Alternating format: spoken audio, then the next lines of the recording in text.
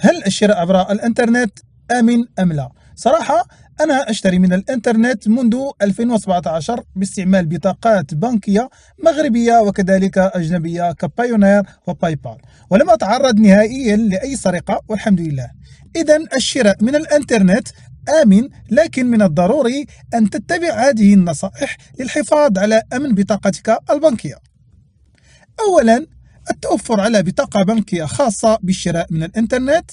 بالنسبة لمن يقطن في المغرب نصيحتي لك هو فتح حساب سياش بنك وطلب بطاقة اي شوبين الجميل في هذه البطاقة هو أنه يمكنك شحنها بأي مبلغ تريد. مثلا ستخصص 500 درهم للشراء من الإنترنت تقوم بشحن البطاقة بهذا المبلغ انطلاقا من حسابك الأصلي. وبالتالي حتى لو كان هناك لا قدر الله اختراق لبياناتك أو ضياع البطاقة البنكية الخاصة بك فمبلغ 500 درهم هو الذي سوف يسرق ويضيع منك فقط. وسيظل حسابك في أمان.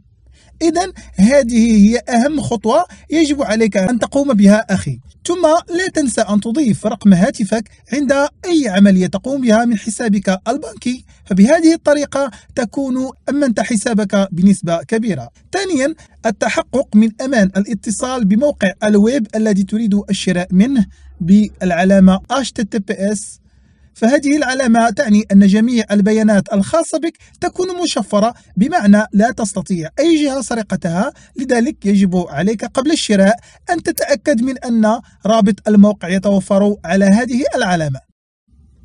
ثالثا لا تقم بتسجيل معلومات البطاقة في الهاتف أو الحاسوب. فهذه العملية رغم أنها توفر لك الوقت وعناء إدخال بيانات البطاقة كل مرة إلا أنها سيف ذو حدين. فبهذه الطريقة تكون معلوماتك في يد أي شخص يستعمل حاسوبك أو هاتفك. لذلك حاول أخي أختي تجنب تسجيل بطاقتك في جهازك. رابعا وأخيرا الشراء من مواقع معروفة.